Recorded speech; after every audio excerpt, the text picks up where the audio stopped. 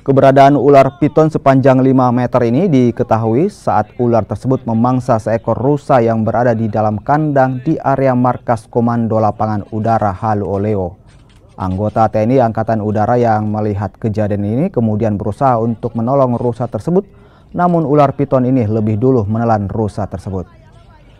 Sejumlah anggota TNI Angkatan Udara kemudian mengevakuasi ular piton sepanjang 5 meter ini dalam kondisi telah mati lantaran terkena tanduk rusa. Penemuan ular piton yang masuk di area markas Komando Lapangan Udara Halu Oleo merupakan yang pertama kali.